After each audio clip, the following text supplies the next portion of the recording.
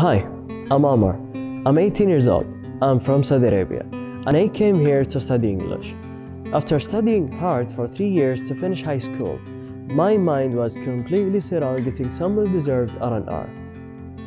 But this plan changed when my cousin told me about the benefits of studying English in the Philippines.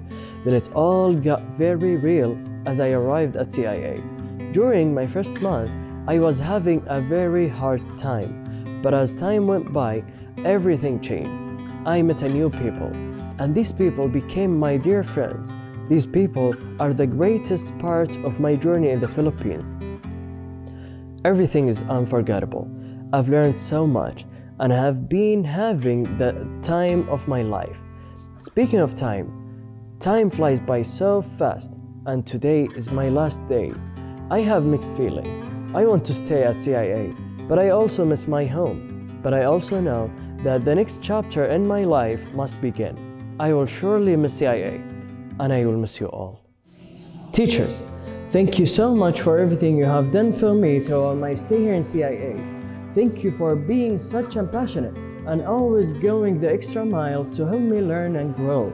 I'm beyond grateful to all of you as my teacher. My manager, the experience that I have here in CIA is very unforgettable, and for that, I'm very much thankful for everything that you have done. You are very accommodating, and it makes me feel that I'm just at home. Thank you for the experience that I will treasure forever. Sir Dominic, I cannot say enough words, but please know that I'm forever grateful for the experience, especially for the knowledge that I gained from you. Friends, it's a great pleasure to meet everyone. This is one of the greatest experience that I have encountered, and I will treasure every moment. Thank you for making my life in CIA a colorful one. Hoping to see you again in the future and wishing to all of you to have a wonderful and successful life. My cousin, without you I cannot experience this.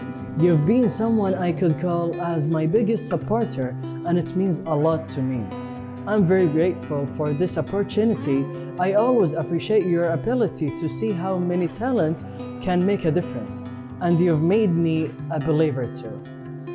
My father, thank you for allowing me to study here in Philippines. It means a lot for me.